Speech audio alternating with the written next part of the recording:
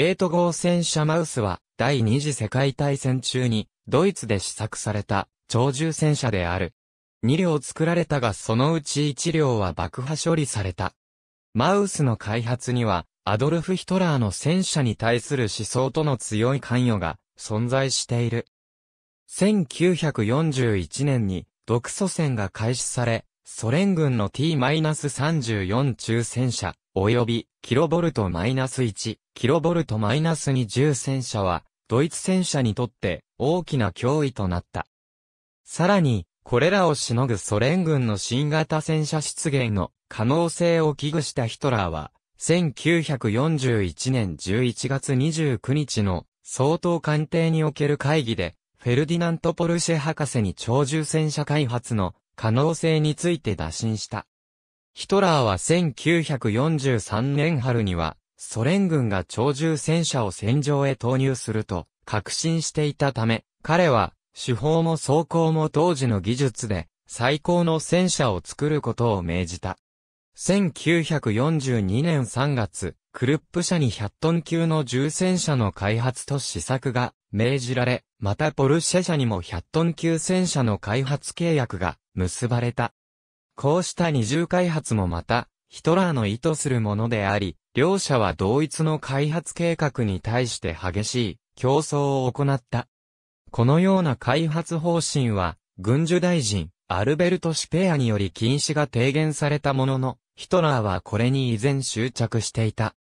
1942年4月の段階で、ヒトラーの重戦車に対する構想は、車重70トンを戦車の限界とする従来の技術的な推測を無視し、100トンを超えて120トン級の戦車が必要であると考えるようになっていた。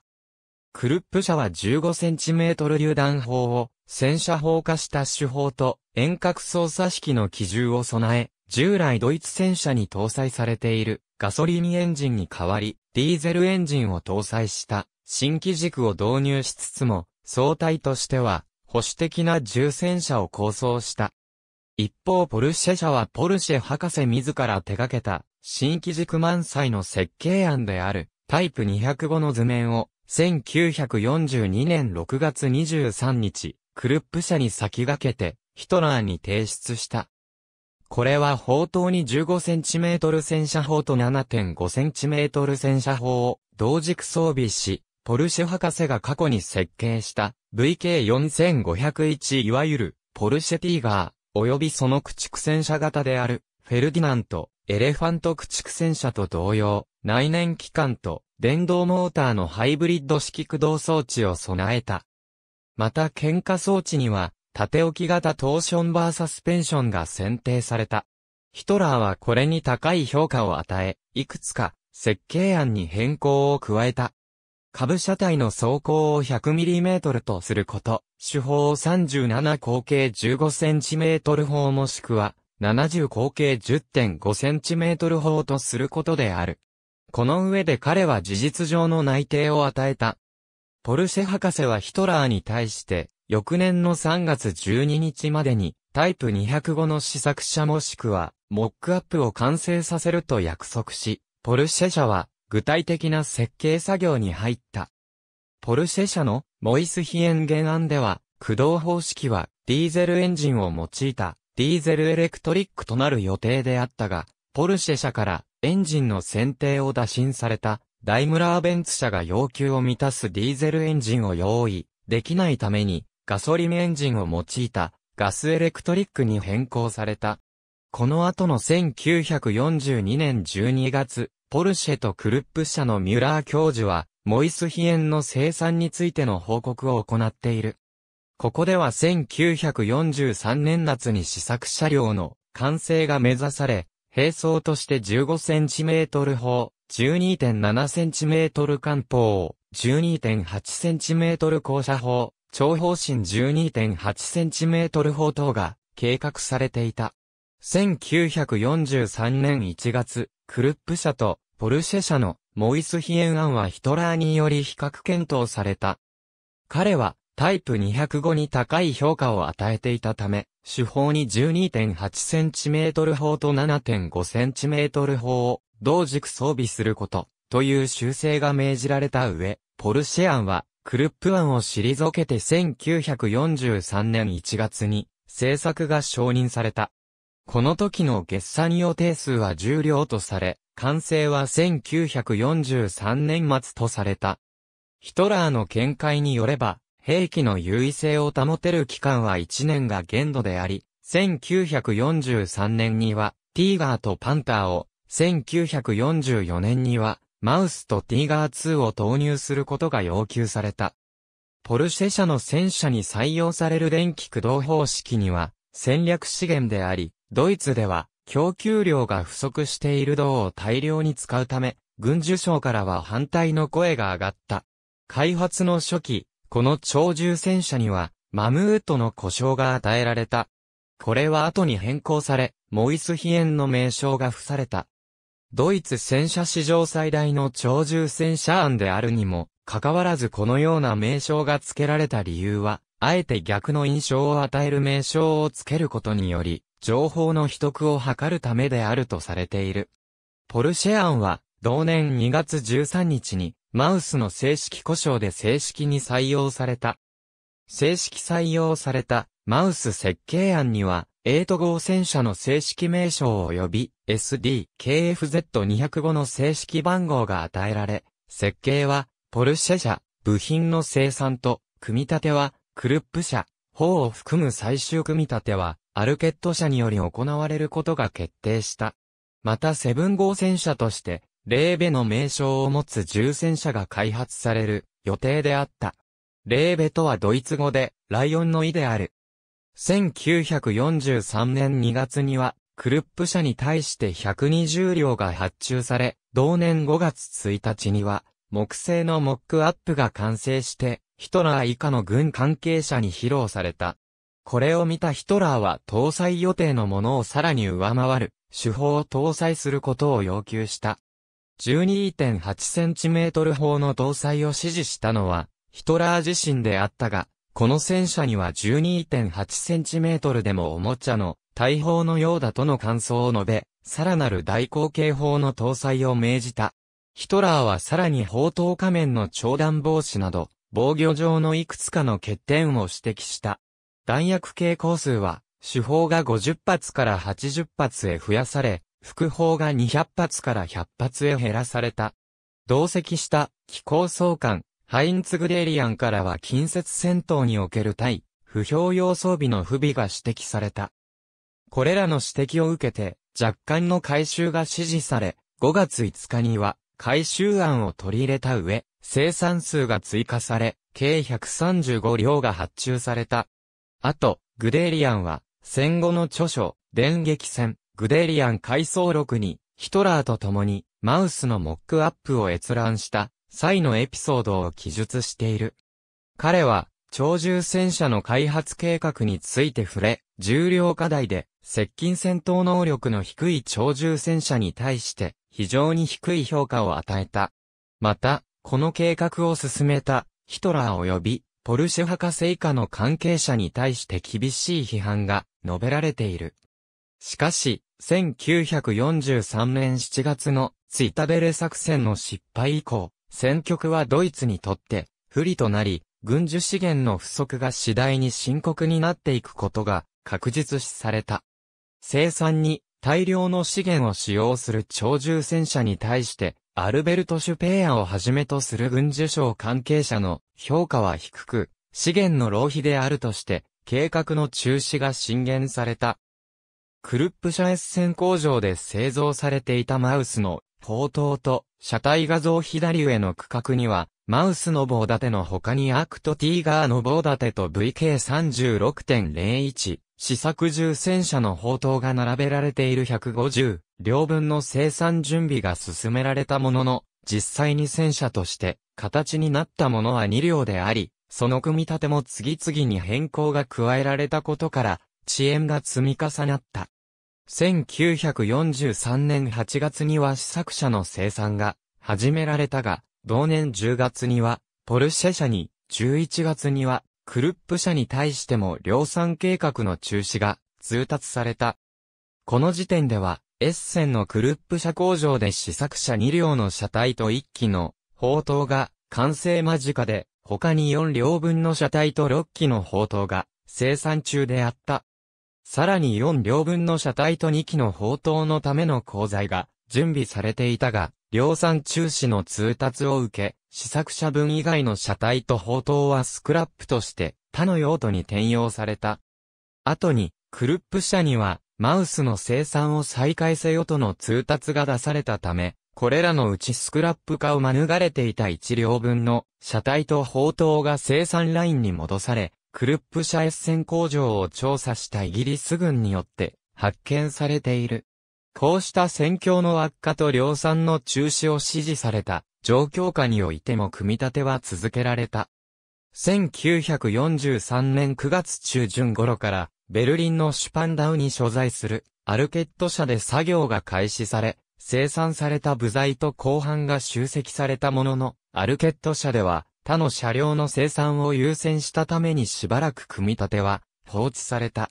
同年、1号車は車体部のみが12月末に完成し、12月23日に走行試験が行われた。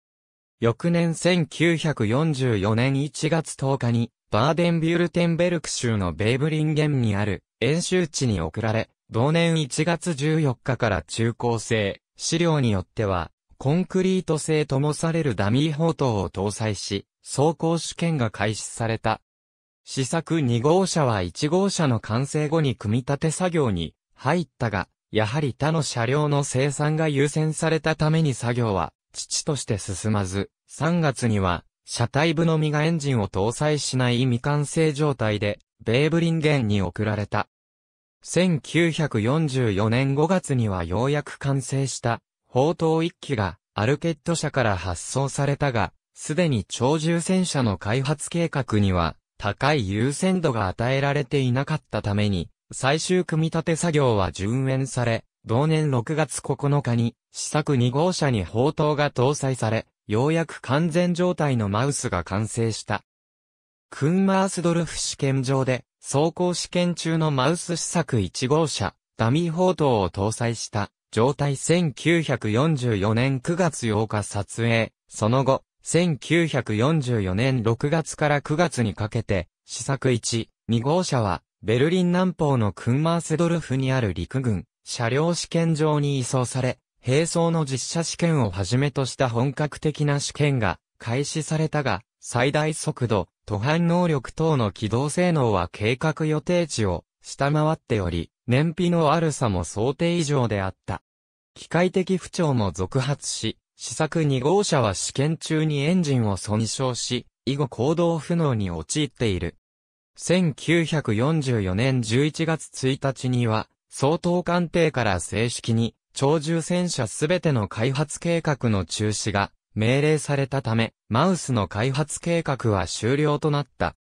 マウスの後部1945年に入り、赤軍がドイツ本土に侵攻してくることが確実となると、クンマースドルフ試験場の試験車両にも実戦投入できると判断されたものには再整備が行われた。エンジンを損傷して保管されていたマウスの試作2号車もこれを受けて同年2月から損傷したエンジンを高速低用のエンジンを転用したダイムラーベンツ製の液冷ディーゼルエンジンに交換するとともに走行装置を新設計の電気式のものに変更した。この乾燥作業は、シュコダ社によって行われている。さらに、クルップ社及びアルケット社には、可能な限り早期に、マウスの生産を再開すべしとの命令が下された。1945年4月末、試作2号車は、ベルリンに迫る赤軍を迎撃すべく出撃し、クンマースドルフ試験場から北東に約 14km 離れた率先郊外に設けられたドイツ軍駐屯地の敷地内にある旧捕虜収容所付近にある通称ヒンデンブルク広場に配置され、司令部の防衛に当てられた。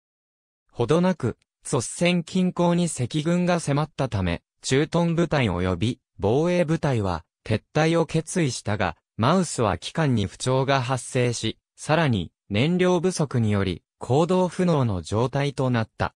機関故障を修理できたとしても、燃料補給の当てがなく、敵部隊が間近に迫っているために回収作業も時間的に不可能と判断され、赤軍に露獲されることを避けるために爆破処分された。その後、試作1号車は、クンマースドルフ試験場の西地区でほぼ無傷で放置された状態で、2号車は、率先郊外にて車体部前村の上、砲塔が車体から外れた状態で赤軍に露獲された。赤軍機械化装甲部隊司令部はマウスを本国へ移送することを決定。1号車の車体に、ほぼ原型を止めていた2号車の砲塔を組み合わせて、走行可能なマウスを製作することとした。2号車の砲塔を回収するためには、6台の接収した18トンハーフトラックが必要であった。こうして1号車の車体に2号車の砲塔を搭載したマウスは1946年4月末にソ連へと移送され、5月4日にはモスクワに到着し、近郊の走行車両中央研究所を区便化、試験場に搬入されて、各種の試験に供され、その後は試験場に隣接する博物館の収蔵品とされた。なお、走行車両中央研究所及び付属博物館は最重要軍事機密施設として外部には公開されていなかったため、ソ連の一部関係者以外がマウスの現存を知ったのは、ゴルバチョフ政権におけるグラスノスチーゴのことである。マウスは、現在もクビン化戦車博物館で保存、展示されている。マウスの模型と人間との対比マウスは、実際に完成した戦車としては、世界最大規模のものである。その自重188トンは2018年現在でも世界最大のもので、砲頭部のみでも55トンの重量があった。寸度は全長10.085メートル、全幅3.67メートル、全高3.63メートルである。砲塔の棒立てと全面装甲板を除いて、全面的に圧円鋼が用いられ、組み書きの付けられた。走行板を相互に噛み合わせた上から溶接を施している。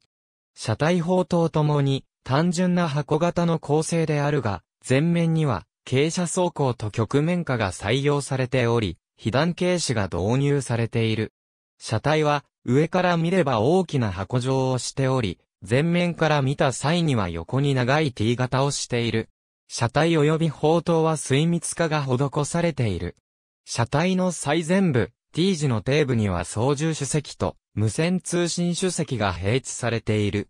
配置は車体後方から見て、右が無線主席、左が操縦主席で、無線主席の右側には無線通信機器と車内通話装置が装備された。席の左右、T 字の張り出し部分にはそれぞれ容量1600リットルの燃料タンクが設置された。これらの席の後方、T 字の底部、車体の中央部前よりに、水冷、V 型12気筒メガバイト509エンジンが搭載されている。この左右、張り出し部分には4機の空冷式冷却機が置かれた。エンジン後方に二重式発電機が直結され、また 3000mm 系の砲塔旋回リングが車体上面に設けられた。二重式発電機の左右側面、T 字の張り出し部分はほぼ弾薬庫とされている。右側の一部には、バッテリーと補助エンジンが配置された。発電機後方のスペースには左右の履帯を駆動するための走行用電動機と減速ギアが1機ずつ置かれている。内部は機器が詰まっており、操縦手と無線手が車内を通って砲塔へ行くことは不可能だった。指導用に8馬力の2サイクルに気筒エンジンが装備された。また他に空冷式に気筒エンジンがメインエンジン後方に装備された。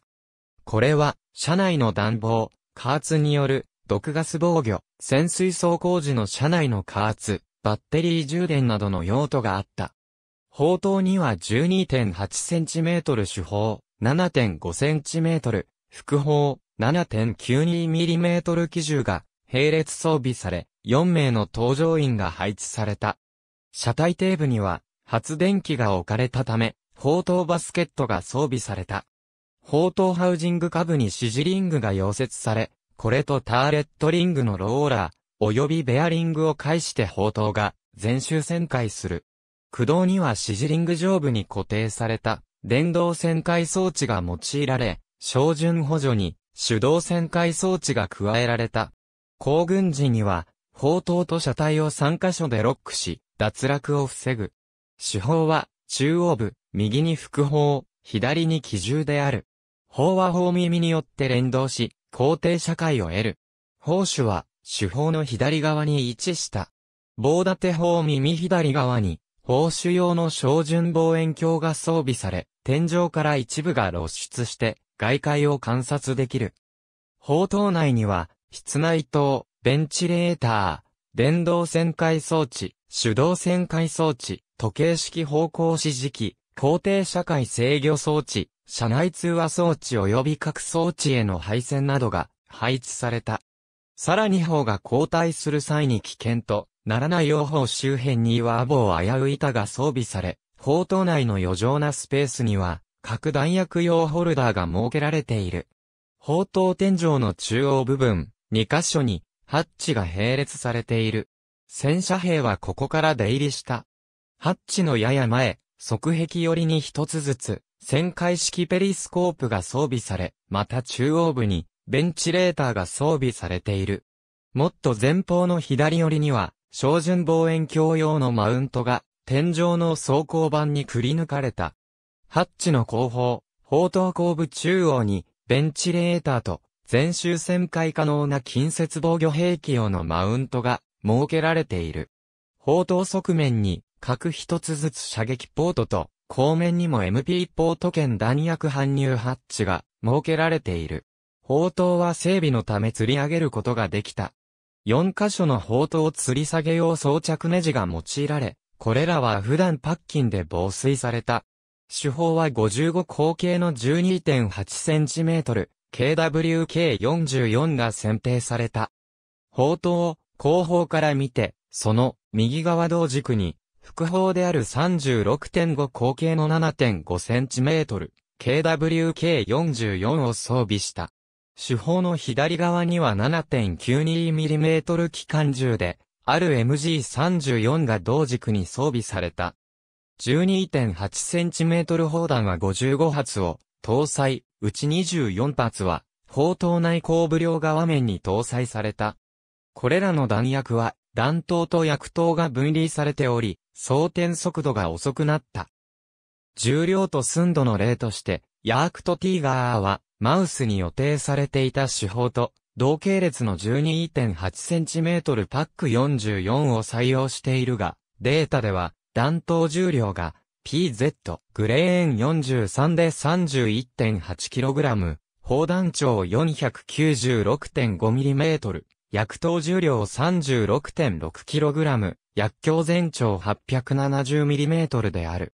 また、榴弾の弾頭重量が 31.5kg、砲弾長 623mm、薬頭重量 33.8kg、薬莢全長 870mm である。36.5口径 7.5cm 砲は、クルップ社が新規に開発したものである。既存の24口径 7.5cm 砲が不採用とされた理由は、方針の短い、この砲を発砲すると、砲煙がマウスの冷風機に直射したためであった。弾薬は100発を予定した。7.92mm 機関銃は、実質的な手法同軸機関銃ではあるものの、手法砲画ではなく独立した銃火に装備されており、個別に上下動させることが可能であった。この他に、砲塔上面には近接防御兵器が搭載され、砲塔の左右側面には、ボールマウント式の銃眼が装備される予定であったが、試作2号車に搭載された砲塔には、装備されておらず、単純な装甲戦式の銃眼光が備えられている。また、砲塔後面に、機関単重用ポート兼弾薬搬入ハッチが設けられた。砲塔後部上面の近接防御兵器は、全周旋回し、39式スモークディスチャージャー、榴弾、160式識別用発煙弾、R 式照明弾を出した。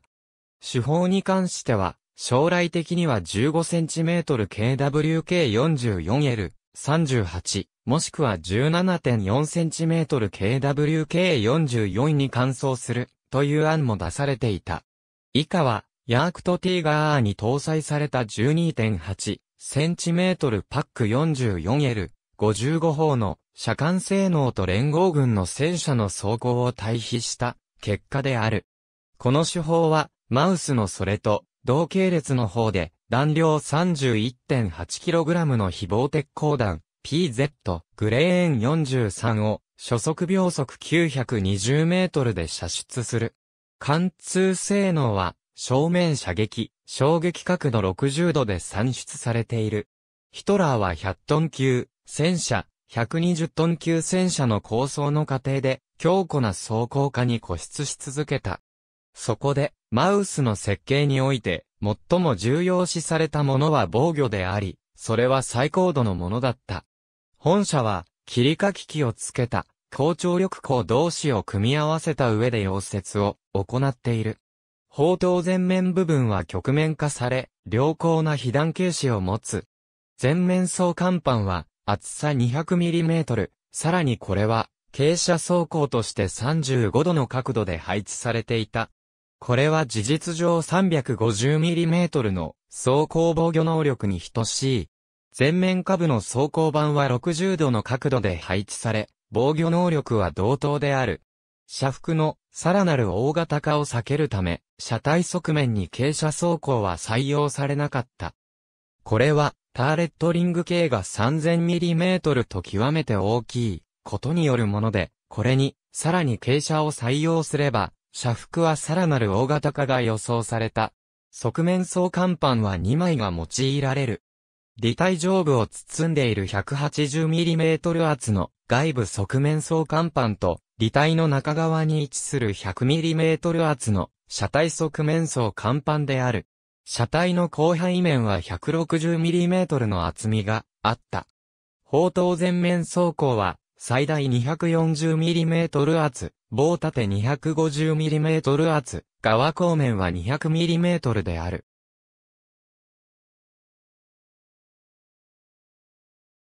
側面装甲板は30度、後面装甲板は15度の傾斜が付けられている。防盾には可動範囲の制限のため、スプリングが内蔵されている。このスプリングは防盾に被弾した際に衝撃を吸収する役割も持っていた。また防盾から砲身に沿ってアンテナよけが装備されている。ロッドアンテナはスプリングで車体と接続しており、アンテナよけが当たると、スプリング部分から横倒しとなって破損を避ける。本車は最高速度時速 20km、航続能力は夜道上を 186km、不正地では 68km である。土反能力30度、超包み高 72cm、超合幅 450cm の性能を持つ。機動力は十分とは言えず、またエンジンの出力も重量に見合うものではなかった。188トンの大重量から走行装置の故障に際して非常な重労働が要求された。駆動方式にはガソリンエンジンによって発電機を動かし、その電力によってモーターを駆動させて走行するというガスエレクトリック方式を採用していた。手記としては航空機用のダイムラーベンツメガバイト509水冷 V 型12気筒ガソリンエンジンを使用していたが、試作車のうち2号車は試験中にエンジンを破損したため、後にダイムラーベンツ社製のメガバイト517ボルト型12気筒液レーターボチャージドディーゼルエンジンに換装している。1942年11月17日、マウスのための機関として、航空用液冷エンジンである DB603 のピストンを交換して圧縮率を変更し、戦車用として様々な改良を加えたメガバイト509がダイムラーベンツ社により提案された。このエンジンは87オクタンの航空燃料では1375馬力を発揮したものの、戦車用の74オクタン燃料では 1200PS から 1250PS を発揮するのがやっとであった。メガバイト509自体の性能は安定しており、1943年10月の試験では最大負荷状態で連続500時間の運転に耐えた。しかし、マウスの駆動のために必要な馬力は 1500PS から 1800PS と見積もられており、ポルシェ号司会者は機動力の相当な妥協を強いられた。有望視されていた高速低用ディーゼルエンジンは戦車のサイズに合わず断念せざるを得なかった。また下級機付きのディーゼルエンジンメガバイト517も、また DB603 と同様の体積を持ちながらも、出力はこれに劣り、1250PS を発揮することはできなかった。さらにこのエンジンの発注は1942年4月17日であったが、実際の受領は1944年夏と遅れている。陸軍司令部の計算では、このディーゼルエンジンの価格は12万5000ライヒスマルクと計算された。ポルシェ社の結論は、マウスの速度が出なくなることを承知の上で開発を進めるというものだった。この超重戦車は、作戦地域でも運用し得る機動力の確保のため、ガソリン、電動駆動が選択されている。しかしながら完成したマウスは実戦化のために許された時間が短く、油圧機構の試験も満足ではなかった。エンジンは車体中央部分から全部寄りに配され、後方には長大な発電機が直結状態で置かれる。この後方、戦車の最後部に走行用電動機及び最終減速機が格納された。メガバイト509の冷却には 148PS を要し、エンジンにより駆動する空冷式冷却装置4機がエンジン左右に配された。冷却用の給排儀は天井のルーバーを介して行われる。さらに、メガバイト509の上津裏にも冷却用送風機が置かれた。やや天井から突出した部分は、走行板により防護されている。これらの冷却機能によって、気温の上昇は、摂氏35度に抑えられた。二重式発電機、LK1000、12から2000はエンジン後方、巨大な砲塔の下部に置かれている。重量3.885トン、6極式の二重発電機は、左右の利体への動力を生み出す、各走行用電動機と、トルククラッチと減速ギアを介して接続した。走行用電動機は、重量3.750トン、最高回転数が3100回転、分、最高速度実速 20km を発揮した。車重188トンを動かすための強大なトルクモーメントはトルククラッチにより処理される。減速装置への接続シャフトにはディスクブレーキが組み込まれ、油圧式、フットブレーキと機械式、ハンドブレーキにより車体を制御した。また接続シャフトはトルクの反動に際してトーションバーとして働いた。二重減速装置は整地走行用と不整地走行用とのギアを備え、操縦手が手動でギアを変えた。マウスは、新地旋回が可能だった。早期部分は、後方駆動である。後方に機動輪、前方に誘導輪を置き、重量を受け止める天輪は48個が用いられた。ボギー式の喧嘩装置は、2個の天輪をタンデムに並べ、まず前方の走行天輪の軸に、ハサミのような形に似た、クランクアームの回転軸が接続される。クランクアームの先にはもう一つの天輪の軸部分が接続する。この上部、クランクアームの各先端部分をつなぎ、高温状のスプリングが内蔵された。これを一組として2機の干渉装置を並列し、上部には指示化をつけ、重量を支えた。指示化にはまた2個の上部天輪が付けられている。走行天輪は、ゴム内蔵式、径が 550mm である。干渉装置は一組あたり 3565kg の負荷がかかった。履体は幅 1100mm の非常に高機のもので、両履体は、車腹の約3分の2を占める。設置圧は 1.31kg 平方センチメートル。